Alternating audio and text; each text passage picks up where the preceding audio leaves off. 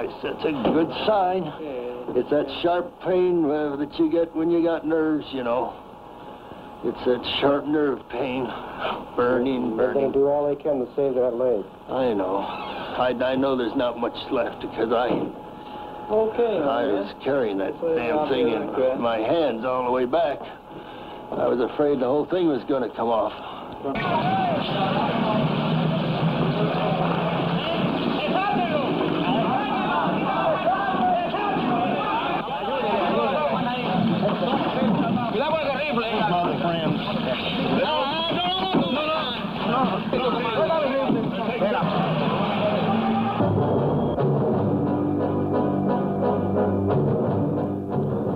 Marines, 1965 was a year like no other in history.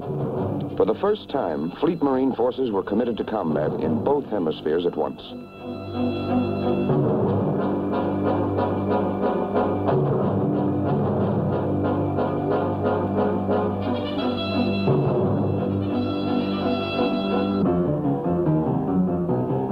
In the Dominican Republic, violence flared, endangering the security of the hemisphere.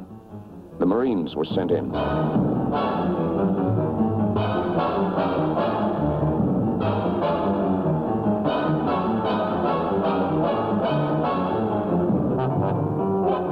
And in Vietnam, growing communist aggression was answered with the commitment of battle-ready Marines from the Pacific Fleet.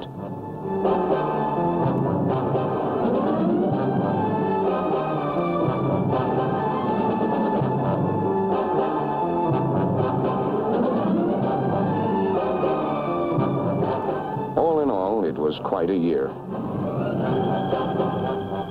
This is the story of it.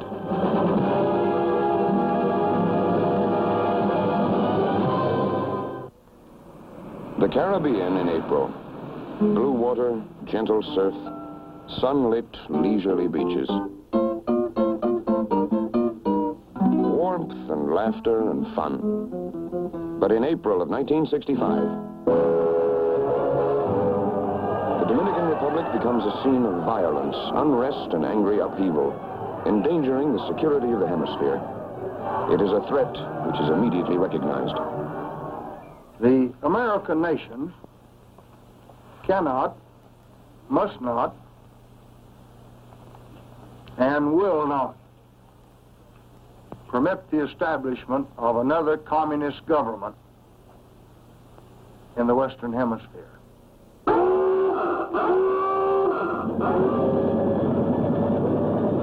On April 28th, word comes to the carrier Boxer that help is needed in Santo Domingo.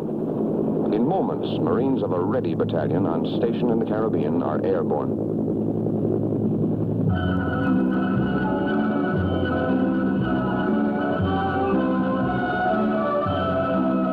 Like two other such ready battalions on board ships in the Mediterranean and in the Far East, the unit from the Boxer is able to react literally on a minute's notice.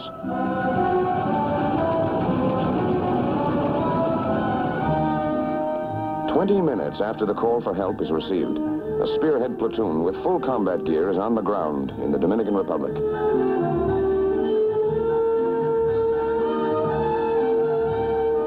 Quickly, the platoon sets up a defense perimeter to assure the safety of the American embassy and of civilians who have taken refuge in the Ambassador Hotel.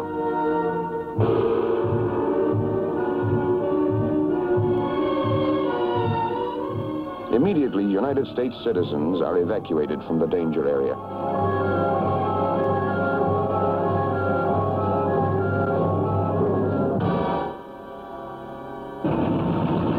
As the situation in Domingo grows worse, the company follows the platoon ashore. Company is soon joined by the rest of the battalion.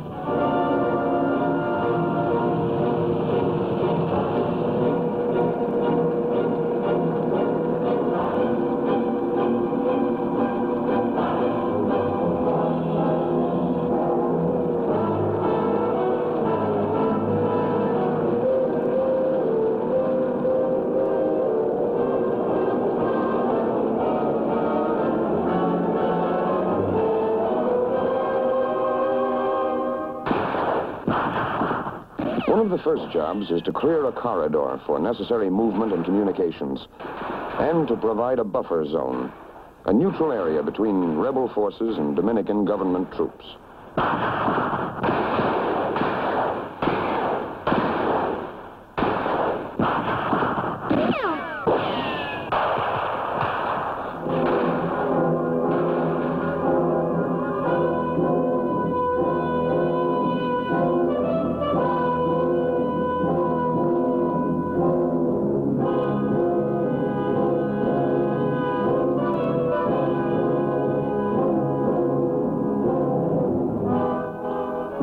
Neutral corridor, once it is established, the situation becomes fairly stable.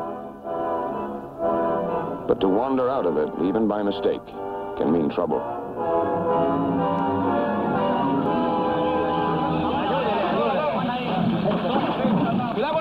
Of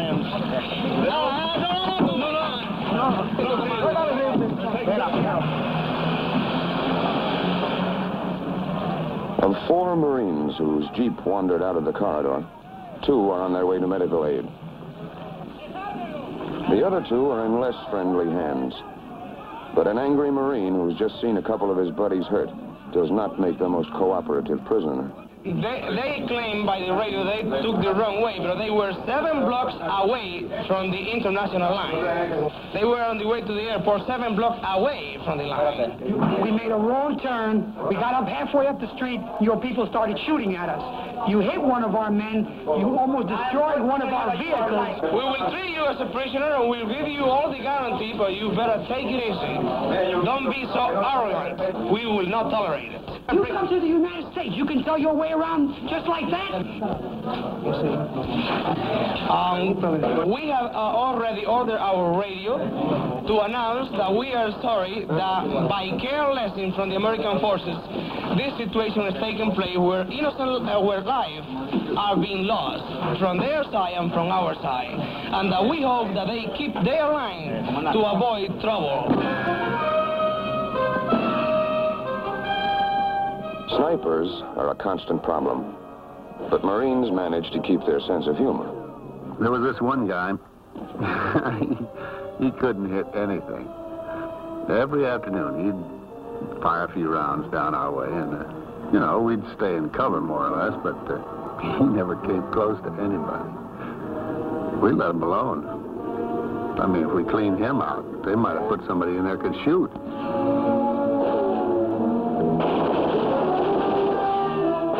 Other times, the sniper problem requires action.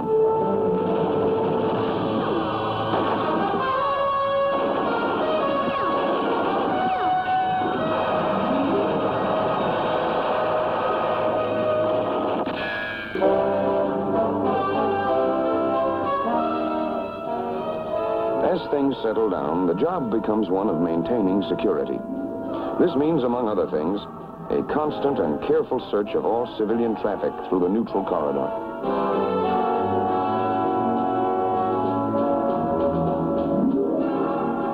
No hiding place is overlooked which might conceal weapons, the means of renewing violence in the corridor.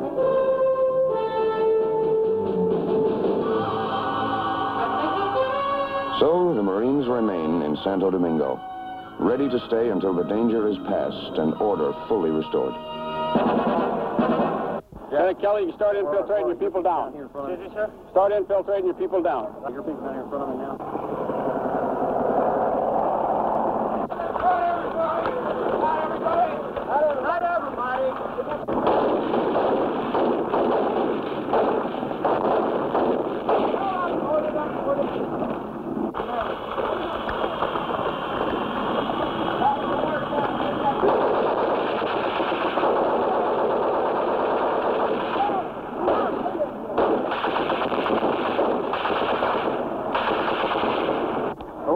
this machine gun? Golf one, golf one, this is golf six, over.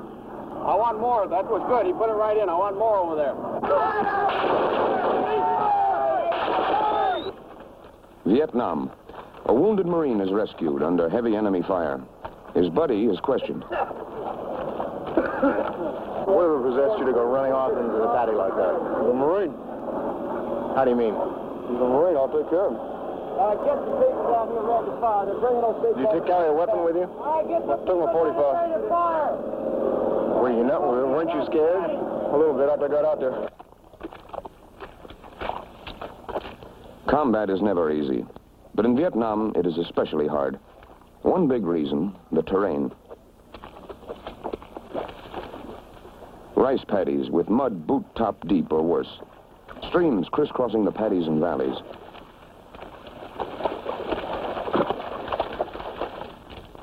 Hills, steep and unfriendly as those in Korea.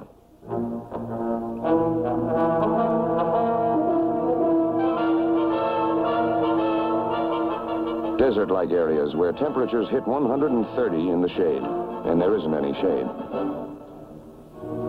And tropic jungle, hot, steaming, hostile as any of the Marines faced in the Pacific during World War II. Prime answer to the near impassability of Vietnamese terrain is the helicopter. Beneath the staccato slap of rotor blades, Marines can move swiftly to wherever the Viet Cong are reported and arrive fresh and ready to function.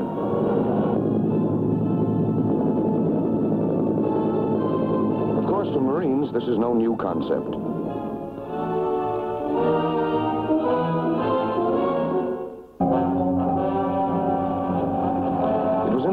1950s that for the first time, a copter assault was used to take ground in a combat zone.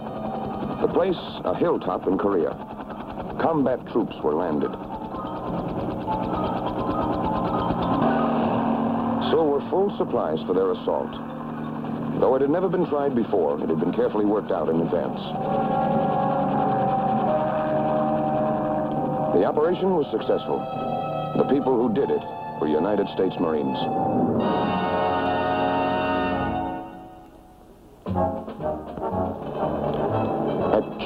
In the mid-1960s, Navy Seabees clear the way for another Marine Corps innovation, which sees its first combat use in Vietnam. The Expeditionary Landing Field, it's called. ELF for short. Every element is air transportable, including the preformed sections of lightweight metal, which interlock to form a smooth, all-weather landing surface.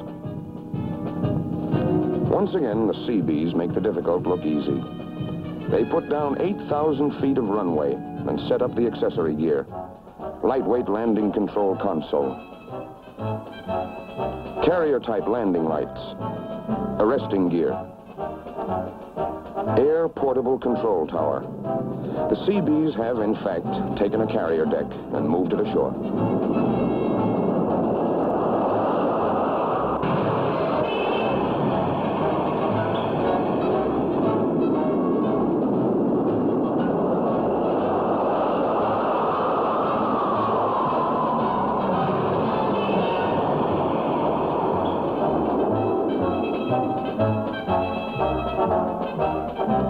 The first Skyhawk jets to arrive are quickly readied for action.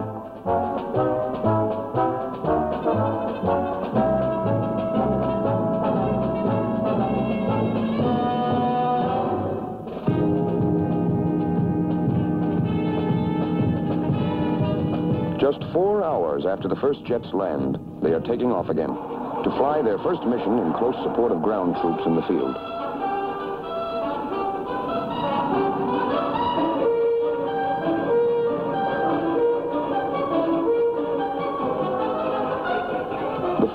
Air controller with the ground forces is a combat pilot himself. Talking directly to the jets, he pinpoints targets for them.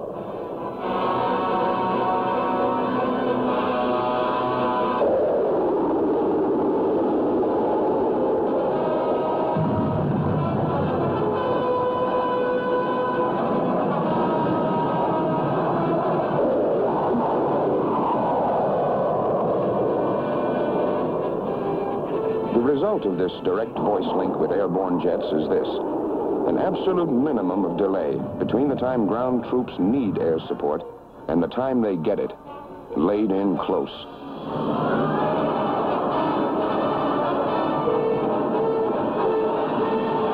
The combat success of the expeditionary landing field is another index of Marine Corps mobility. In a matter of days, the landing strip, control tower, arresting gear, the whole works could be taken apart and airlifted to another location. For now, however, it's working just fine here at Chu Lai. Elsewhere, on high ground above the huge air base at Da Nang, Marines man the deadly Hawk anti-aircraft missiles. Enemy air has not yet been a problem in Vietnam, but should it come, the Hawks are waiting.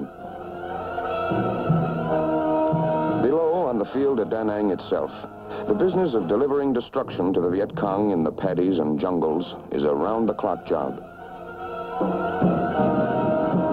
Marine Phantom jets are doing a big part of that job. And it is this kind of weapons system, this complexity and sophistication of striking power, which leads observers to use the term the new breed in speaking of today's Marine.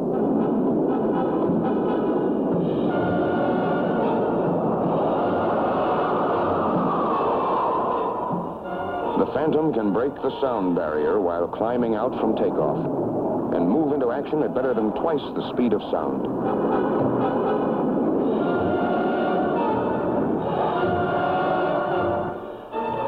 The armament that they can deliver offers wide flexibility, too, ranging from bombs and 20 millimeter cannon to rockets and bullpup missiles.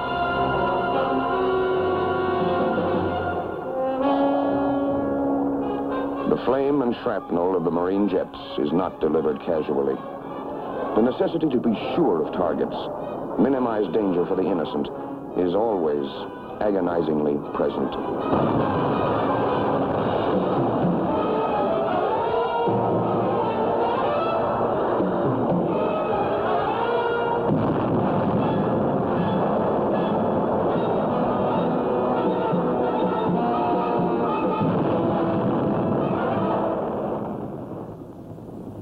Some, the price of humane hesitancy comes high.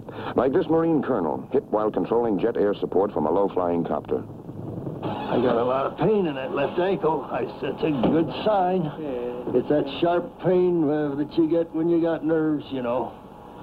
It's that sharp nerve pain. Burning, burning. They're going to do all they can to save that leg. I know. I, I know there's not much left because I Okay. I was carrying that damn thing in my hands all the way back. I was afraid the whole thing was going to come off. I said, hell, they can't be right around in here. So I didn't call bombs and nape in on these people. Mm-hmm. But that's where they were. I'm sure now that that's where they were. God damn it, I, I hate to put nape. And, and on these women and children. I just didn't do it. I just said, they can't be there. Well, we held the planes. We held the fixed-winged up. We held them up there. Figured we'd call them if we need them. As far as I know, I'm the first to hit, and I, I flew down at 100, 200 feet over these, over this village, this hamlet area. I thought I saw some people in a hole, and uh, I just hung around there too long, and I was too low. But I was way back out over the over the friendly troops that we landed. I was over those troops when I when, Oh, when we caught this round. Mm-hmm. There's no indication that we'd been fired at until then.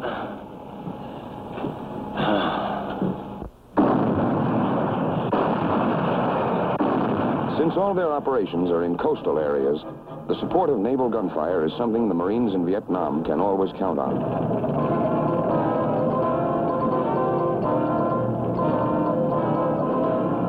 During 1965, Marine forces launch a number of large-scale offensive operations. Names like Operation Starlight, Harvest Moon, and Piranha are written into history. In such operations as these, the young Marines of the new breed engage the Viet Cong guerrillas and take on North Vietnamese regulars as well, in numbers up to regimental strength and greater. Using all the advanced weaponry and mobility at their command, the Marines seek out the enemy, and wherever they find him, they beat him decisively. Not just tactical defeat, disaster. Virtual elimination of organized combat capability is the way the official reports put it.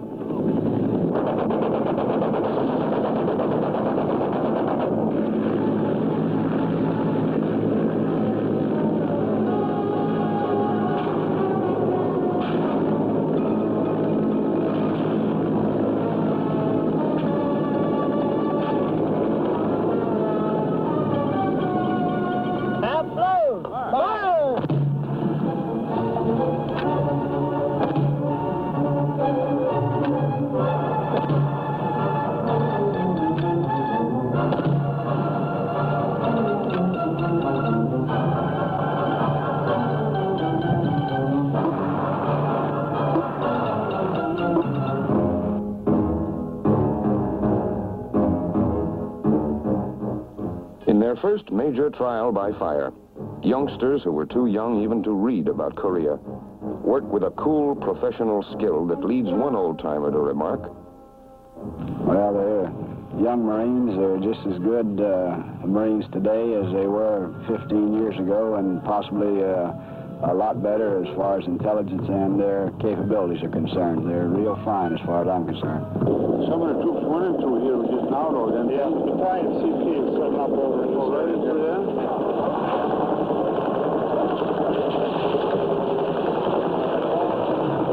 So, sir, we got a 360 here, so we're pulling out just as soon as we get underway.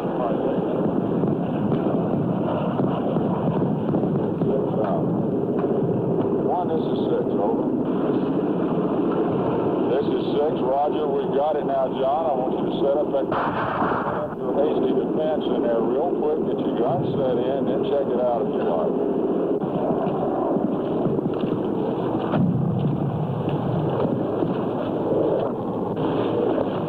Okay, we're gonna put it down now, Manny. Okay, move me on my left side. Seeing supine. All right. Stay like so. Jerry, Manny? is it paying a lot, Manning? Give us, Charlie Mark. We need some help over here. I'll give you a hand.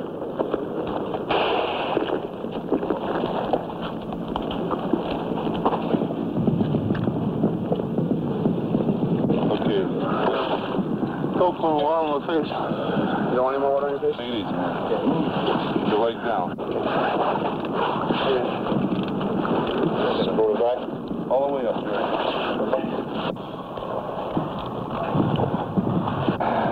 Lay still, man. Okay? Evacuate the man to the rear to where we can get him out on a chopper. Do you understand? Over. The chopper saves a lot of lives in Vietnam. In minutes, a man can be airlifted direct from combat to an aid station, where the compassionate skill of Navy surgeons is ready and waiting.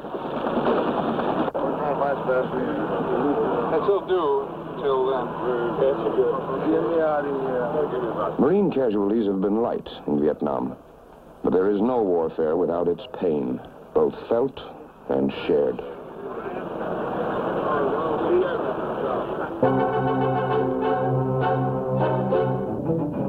Marines in Vietnam learn fast to take nothing at face value. Far too often, beneath the outer appearance of a harmless civilian, there is the familiar black garb of the Viet Cong guerrilla. The Viet Cong are not the only problem. In dark little villages, the same ones the Viet Cong have hidden in and operated from, Marines find the people they have come to help. People who have lived for too long in fear. Well, the Vietnamese are a wonderful people as far as I'm concerned, and they need help, and we're a strong nation, and we can give them help, and they've asked for the help, so we're here. Well, I've always had the feeling that if we could get the feeling across to the people of Vietnam that the people of the United States were behind them and wanted them to be free, to have the things that they had been denied for so many years, that we could possibly bring peace to these people. Ten years from now, these people are going to forget the bullets and the shot and the shells and everything else, but they're going to remember this if they don't remember anything else. And I think if we're going to win this war, that we're going to do it here before we'll do it on the battlefield. That's the only way we can win it. People who live out in the rice country, their standard of living uh, is very low by our standards. They have very few comforts. They live uh, from uh, rice crop to rice crop.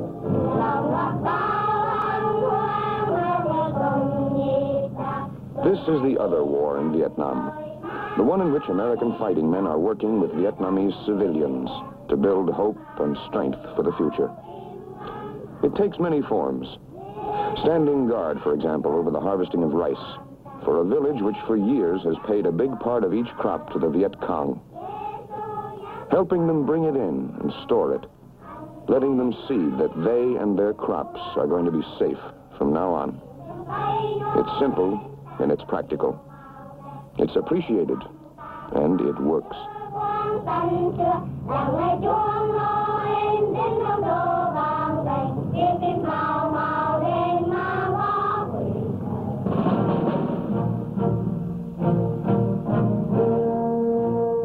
In another village, Navy doctors and corpsmen serving with the Marine Corps will be found helping the people fight a war against sickness.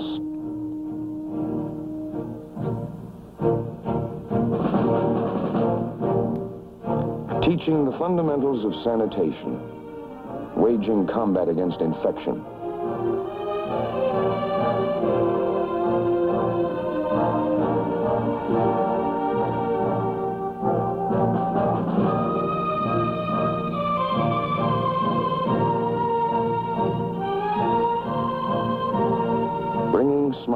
to faces that for too long have reflected only fear and despair. Uh, we was out in the village below us here, uh, giving out Christmas things that uh, people from the States sent over, and we want to let everyone know back home that the kids are, they really need a lot, and believe me, they really enjoy everything they get.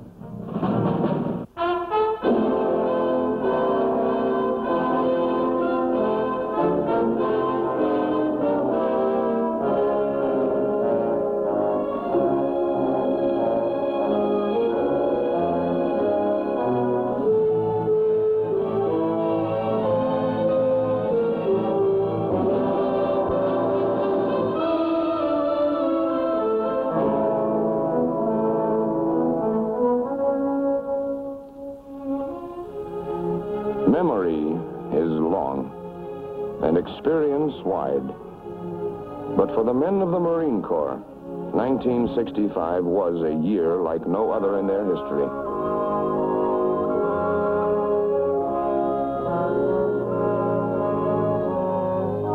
This has been part of the story of it.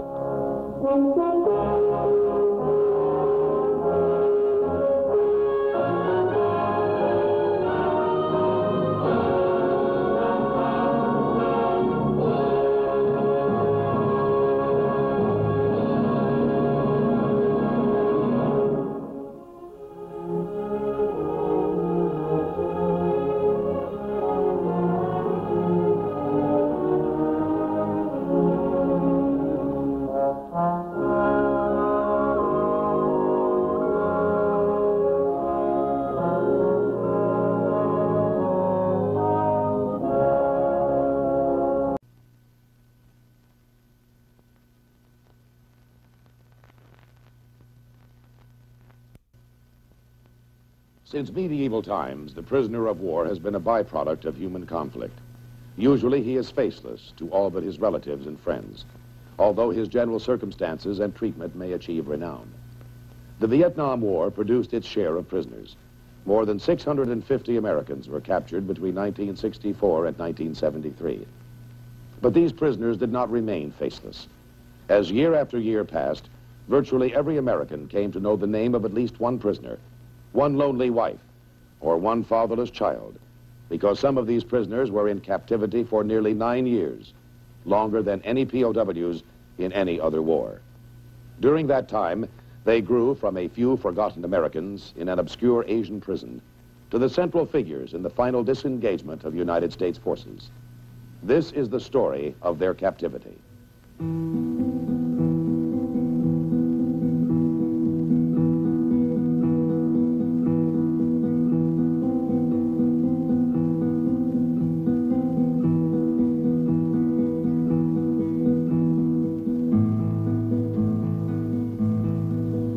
This is a reconstruction of a prison cell in the Hanoi Hilton.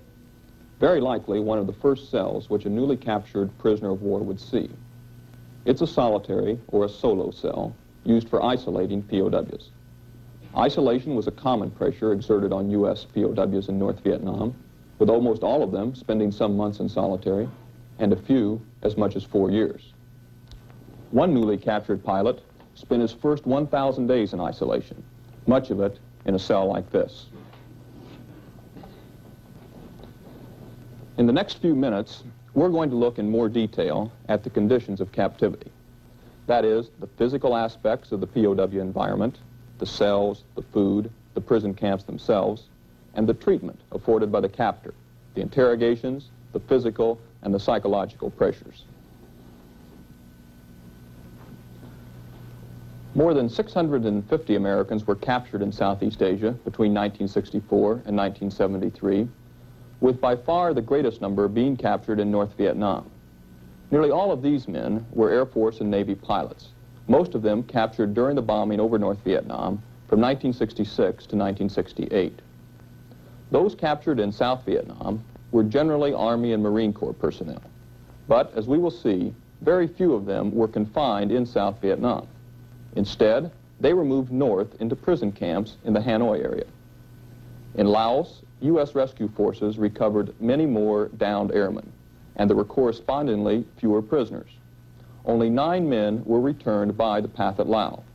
These men had spent only a few weeks in Laos before they too were moved into North Vietnam for detention. None of these captives from Laos or South Vietnam were ever acknowledged as POWs by North Vietnam until the 1973 ceasefire. Of 122 U.S. prisoners returned by the Viet Cong, only 28 were actually released in South Vietnam. These men were all captured in this general area and never moved far from a series of camps in the border regions of South Vietnam and Cambodia. The other POWs released by the Viet Cong had all been captured north of Dalat City and then moved into North Vietnam for detention.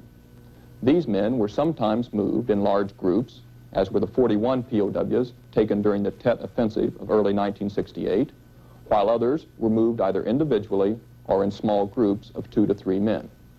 Virtually all followed a northward course, something like this, through the Ho Chi Minh Trail Network.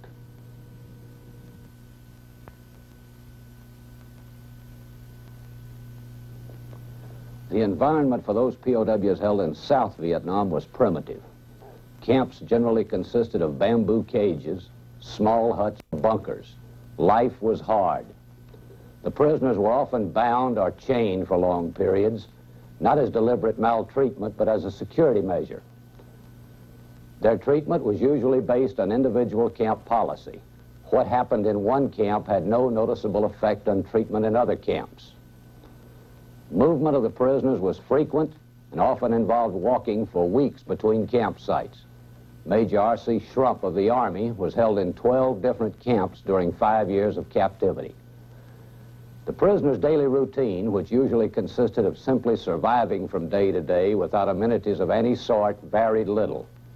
Exposure to the elements posed a chronic health threat and medical treatment by trained doctors was virtually non-existent, although some of the Viet Cong served as medical aides.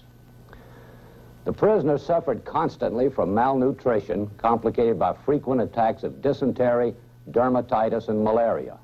Over the years, one out of five men captured died in captivity.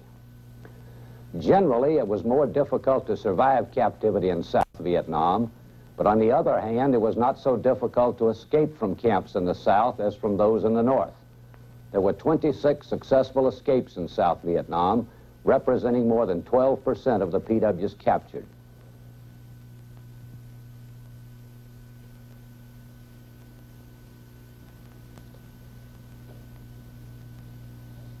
This is Hanoi, ultimate destination for nearly all of the Americans captured in Southeast Asia.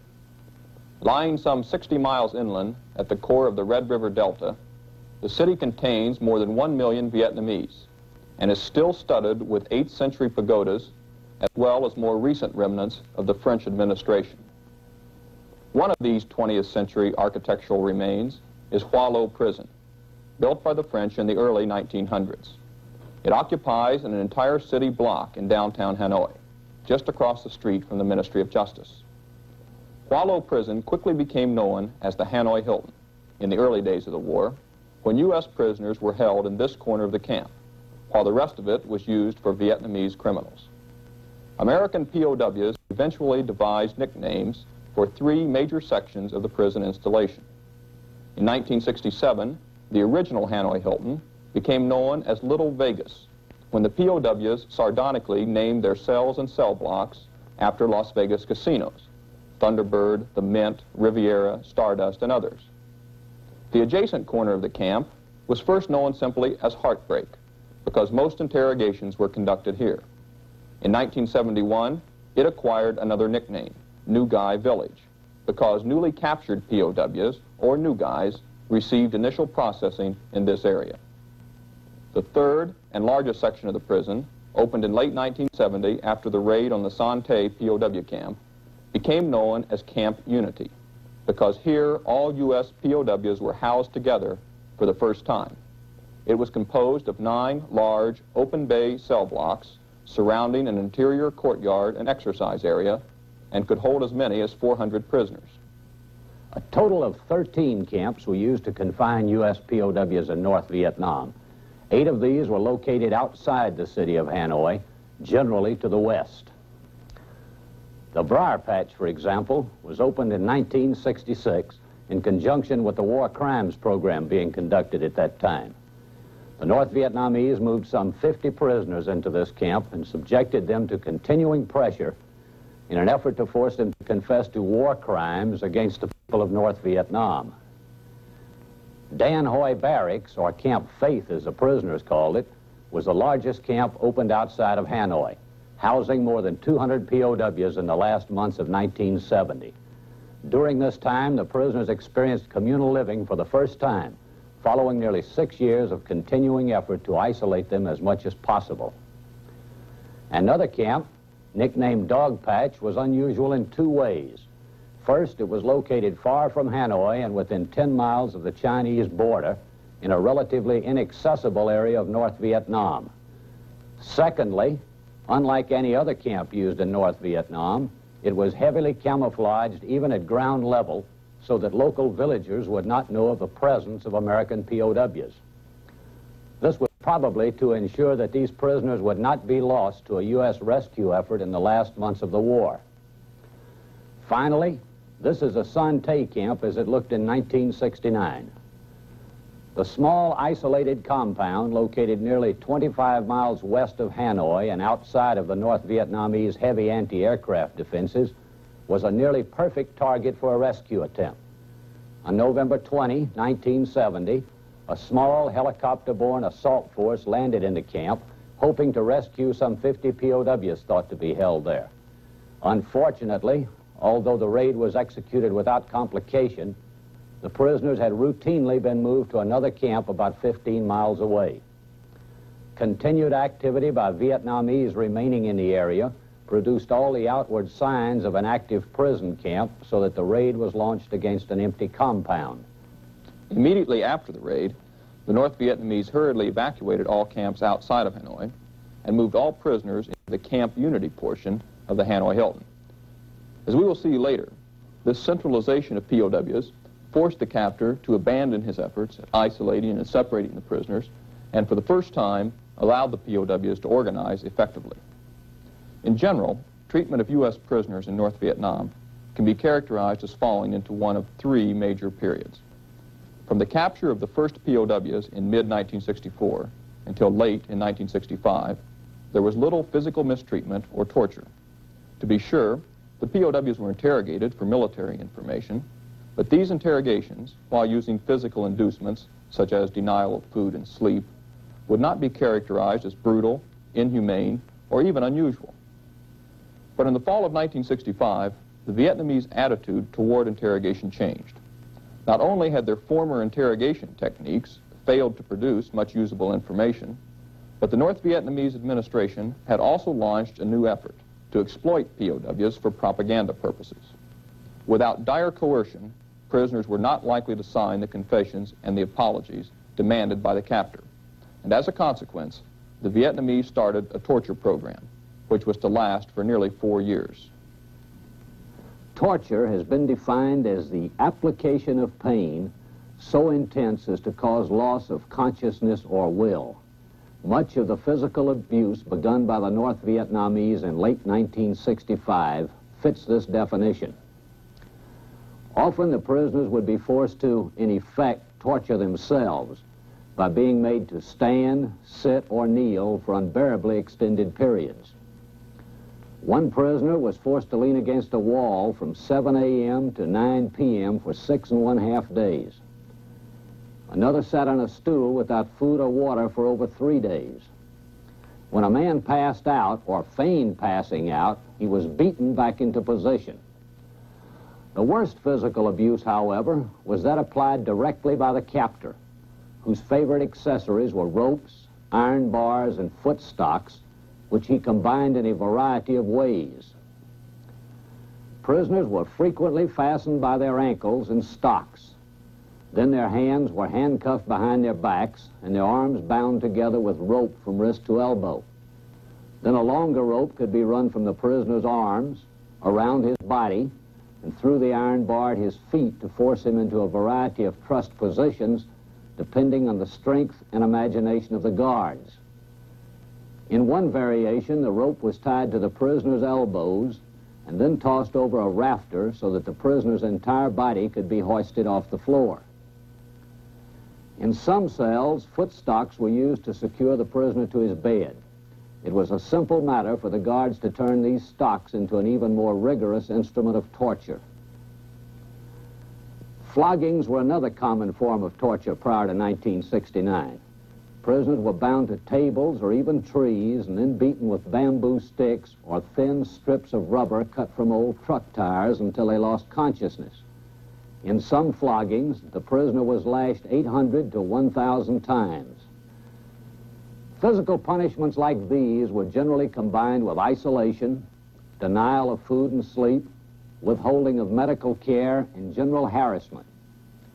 Even when mistreatment was commonplace for nearly all prisoners, the captor generally tried to cite a moral justification for the torture. Most commonly, he would create a convenient accusation that one of the camp regulations had been broken. The offending prisoner would be punished for his alleged violation and then allowed to atone for his sins by offering some information or propaganda the captor desired. This was one of the many uses of the camp rules imposed during the earliest days of confinement to form a daily program of humiliation and harassment of the POWs.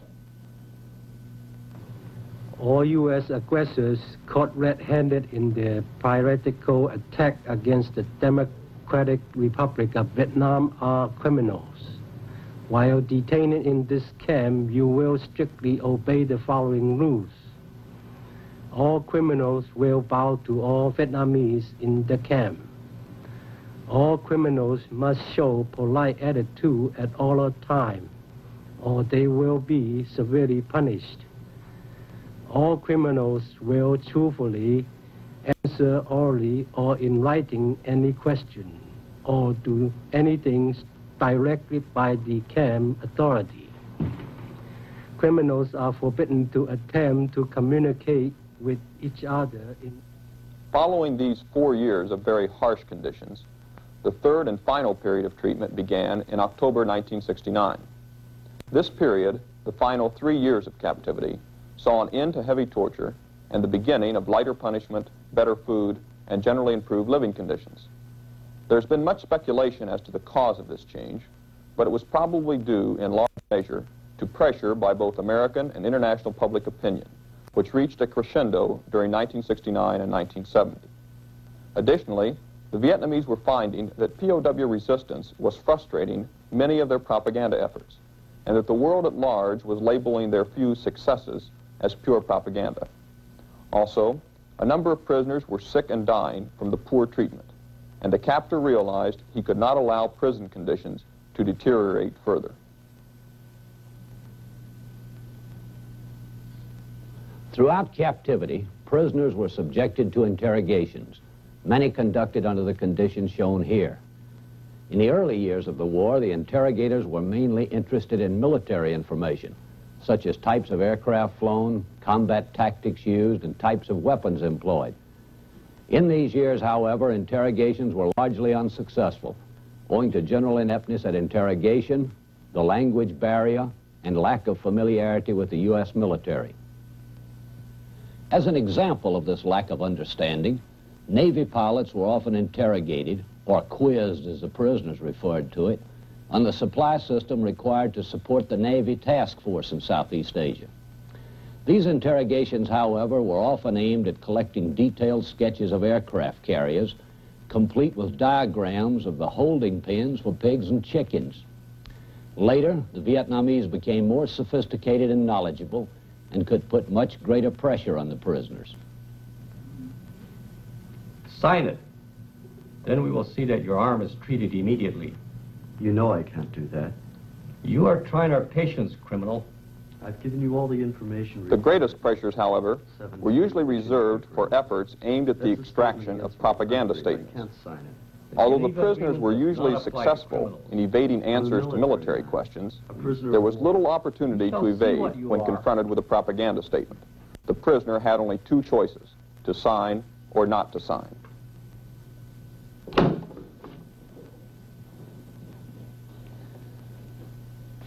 The most extensive campaign of political extortion was initiated in mid-1966 when the Vietnamese began trying to extract written confessions of what they termed war crimes. Prisoners were pressured to confess and apologize for violations of North Vietnamese airspace and for alleged bombings of churches, schools, hospitals, and other civilian facilities. The POWs were likewise pressured to praise the good treatment being accorded them and to submit written requests for the forgiveness of the Vietnamese people.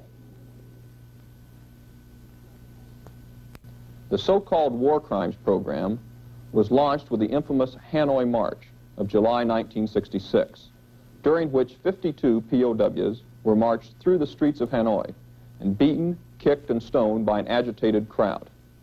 Radio broadcasts described the hatred of the Vietnamese people and their demands that the prisoners be tried as war criminals. The only alternative to trial and execution, so the Vietnamese told the POWs, was to confess one's crimes and to assume a proper, that is, a cooperative attitude. In the face of these threats, not a single POW chose to comply. There followed a prolonged period of torture, during which the prisoners were humiliated as never before, and eventually coerced into writing the statements which the captor desired. Visiting delegations, both U.S. and foreign, were attracted by such statements, and all wanted to interview an American POW. These visitors were always taken to one of the showplace camps in Hanoi, where they would be allowed to view selected prisoners. The most frequently visited camp in the early years of the war is shown here and was known to the POWs as the plantation. Men were pressured and sometimes tortured to meet with visiting delegations and to recite memorized accounts of their humane treatment and anti-war sentiments. Prisoners were allowed special recreational privileges for the duration of these visits, as in this basketball game at another showplace camp, the zoo. This particular camp was once a French officer's recreation center and later a major Vietnamese motion picture studio, before becoming a prison facility in 1965.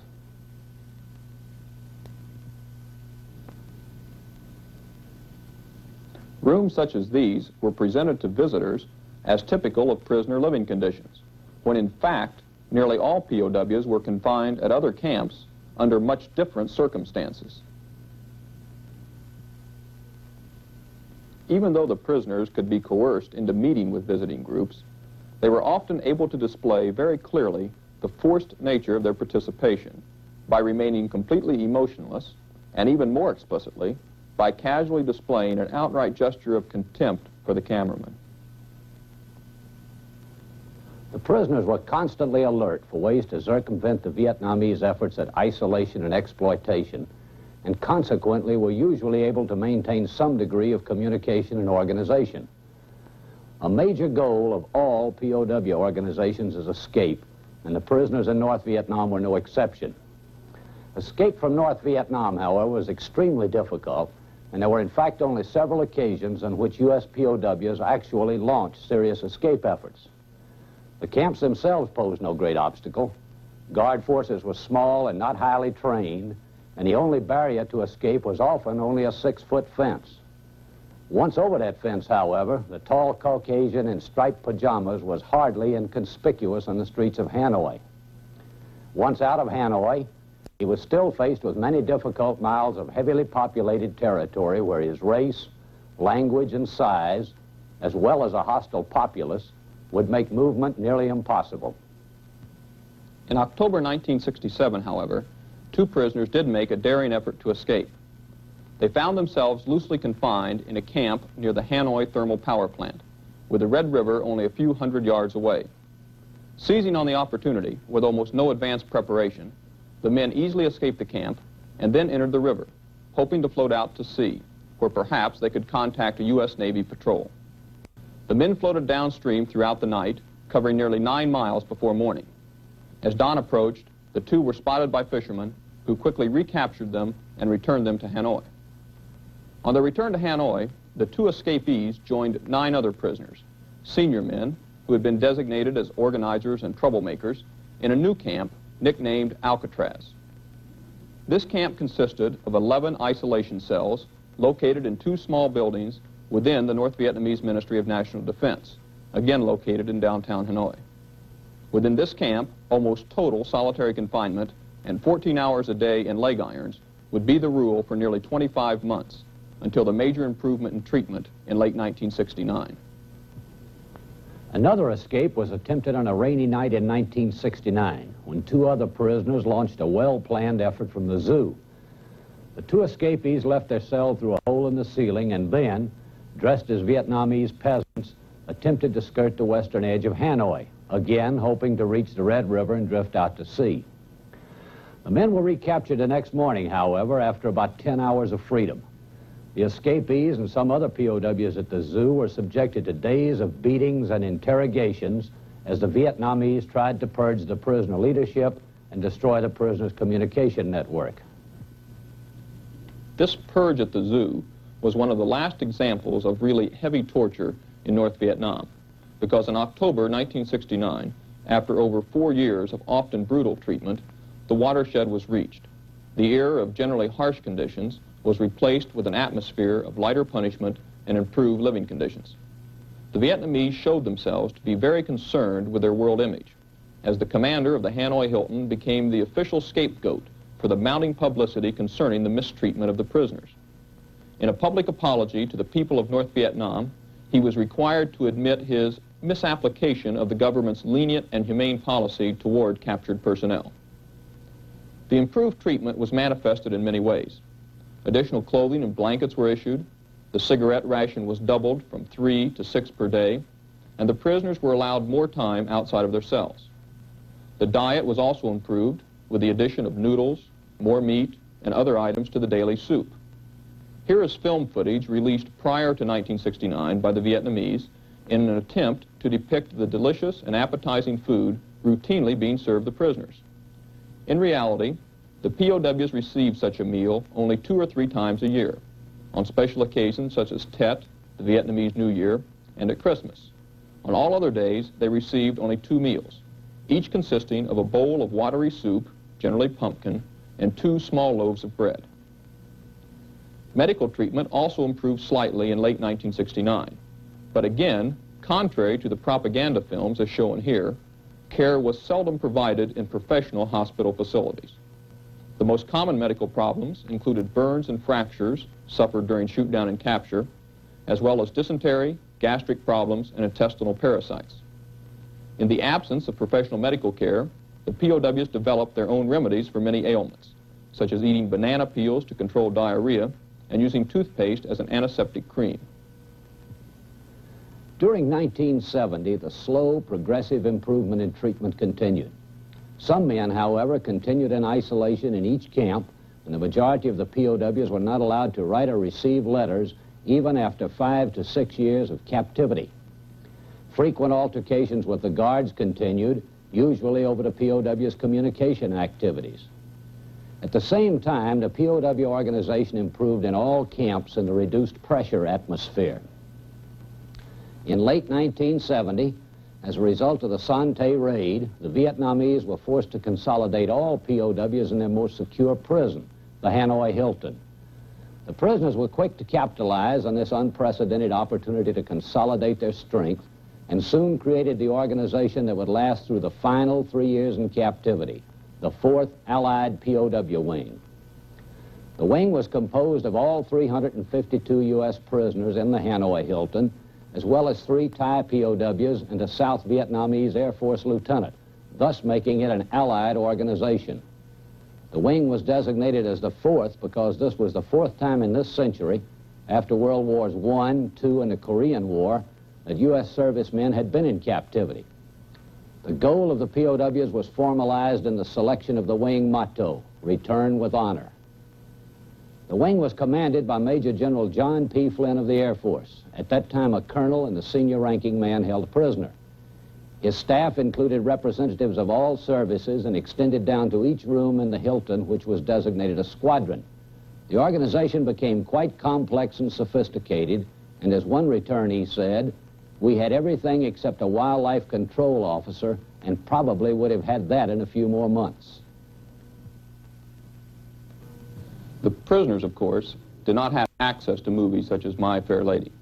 But some POWs had often seen a particular movie several times, and they became known as movie tellers, one of the prisoners' answers to entertainment. One prisoner, for example, began in the early days of captivity with a simple recounting of the basic plot of My Fair Lady, lasting perhaps an hour. By the end of captivity, he was producing a four and one half hour spectacular, complete with background music and lyrics. Another POW eventually developed an eight-hour version of Gone with the Wind. Other prisoners became experts at recounting novels, while others developed complete courses of instruction in subjects such as French, Spanish, American history, art appreciation, philosophy, thermodynamics, and even auto mechanics. These courses were taught not only to cellmates, but to interested prisoners throughout the camp, with lectures being transmitted from room to room by tapping on the walls. The intellectual stimulation of these educational activities was a welcome relief to those men who had spent years in isolation, with nothing to do but exercise, daydream, and observe in minute detail the lives of spiders, lizards, and other tiny creatures sharing their cells. As the prisoners became more and more organized, and thus less susceptible to Vietnamese efforts to exploit or intimidate them, the relationship between the POWs and the captors slowly evolved into a live and let live philosophy. Each side established its own position and then refrained from provocative encroachments on the opposition's territory. The Vietnamese continued to probe the prisoners, however, always alert for an easy opportunity to propagandize or indoctrinate them. From the very first, the Vietnamese were eager to indoctrinate the prisoners in any way possible. In general, their efforts were not aimed at converting the POWs to communism, but rather more simply at lessening their faith in the U.S. government and its role in Southeast Asia. Prisoners were often lectured by camp officials who were always most ready to engage the POWs in philosophical discussions concerning the war. As in Korea, where the Chinese offered POWs the choice of either the reactionary or the progressive path, prisoners in Vietnam were confronted with the choice of the way of LBJ or the way of Ho Chi Minh. Failure to choose the right way meant poorer treatment, torture, and threats of life imprisonment or death. Regardless of the indoctrination technique employed, the POWs were well aware that they were getting only one side of the true story. To combat this distortion of the news, the prisoners sometimes employed a method of news interpretation, which they referred to as 180-degree decoding. That is, they simply believed exactly the opposite of what the Vietnamese said. So, for example, when this news item was reported over the camp radio by Hanoi Hannah, the prisoners calculated that the particular Sunday in question was Easter Sunday, the day of the massive Easter parade in New York, and that the true story was probably something more like this.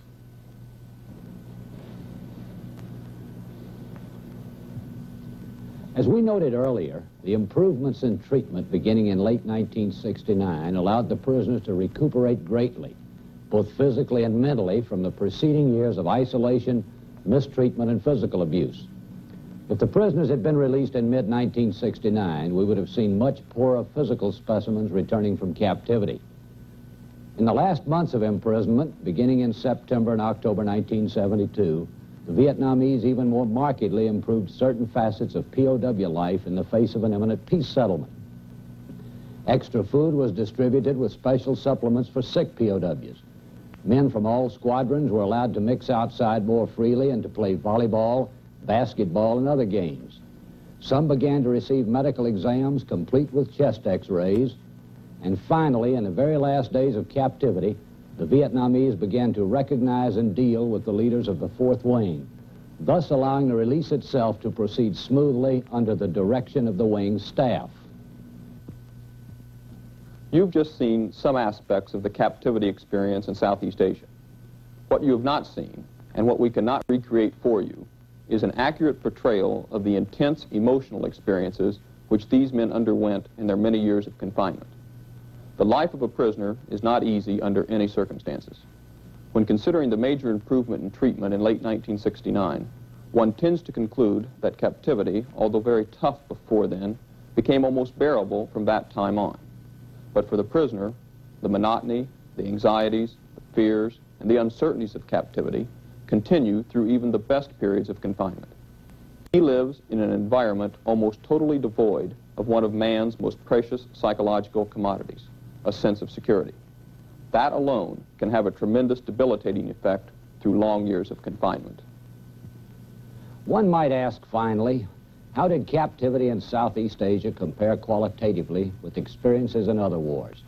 An answer to that question is found in the words of Air Force Colonel Richard Keirn, a prisoner in Europe in 1944 and 1945, and again a prisoner for over eight years in North Vietnam. He said, Captivity with the Germans in World War II was rough, but I was treated like a human.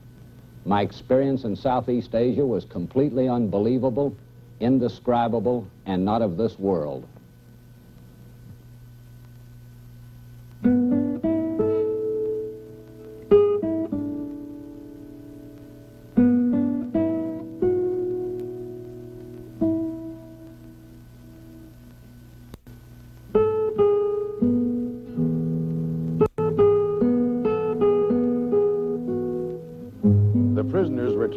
With a sense of honor, with a pride and a faith in their country which amazed many Americans. But the lesson which they learned and displayed so openly was one instructed by Goethe years ago. What you have inherited from your fathers, earn over again for yourselves, or it will not be yours. These men had experienced a crisis of freedom as few other Americans have. They had been forced to examine themselves closely, to forego the pursuit of ease, and to rediscover the resources of vigor, faith, courage, and imagination which are required for survival. Intense thought, burning idealism, unlimited sacrifice. These were the attributes that made it possible for these men to return with honor.